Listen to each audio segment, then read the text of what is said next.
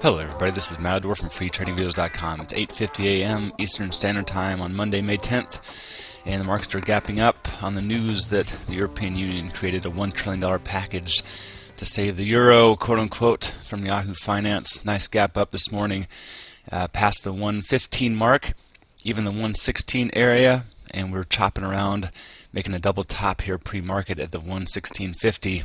If you look at a higher time frame than a three-minute chart on the SPY, you can see a little bit more data. Uh, still working now on our way back up into the 117 big size sell-off, almost 100% retracement of this now. Again, a higher time frame than that, a little 60-minute chart, and you're starting to see a little bit more about how volatile that was, this huge, big, giant move, but also now being retraced. So anyway, 116 is going to be the number we watch today specifically. If we uh, chop our way out of this, 117 is resistance. That's a big one right there. A little bit right through here at this number, if I can grab a line. It's about 117.40. Nice swing high there. 118, of course, a little bit of a swing high on this. So some really good numbers on the way up.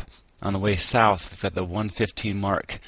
Uh, just minor support there, it looks like. A little bit of a swing low that got broken.